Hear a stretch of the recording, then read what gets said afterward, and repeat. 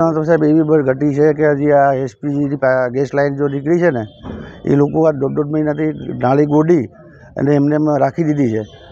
બરાબર?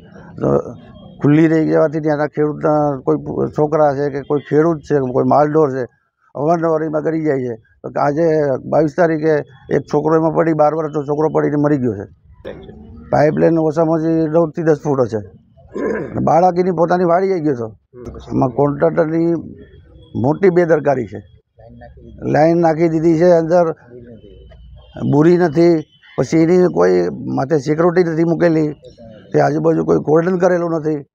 કોઈ સેફટી નથી. ત્યાં કંપનીના કોઈ માણસો કોઈ જવાબ દેતા નથી. અમારે હવે આ ડેડ બોડી સ્વીકારવાની થતી નથી. જ્યારે કંપ- કંપની કે કોન્ટ્રાક્ટર માટે હજી એફઆઈઆર ન થાય ત્યાં સુધી ડેડ બોડી સ્વીકારવાની થતી નથી. કોઈ આવ્યા નથી અત્યાર સુધીમાં. અને અમે કોઈ જાણ ખાતુંને જાણ કરી છે પોલીસ ખાતામાં. પોલીસે કીધું કે અમે કંપનીને જાણ કરશું.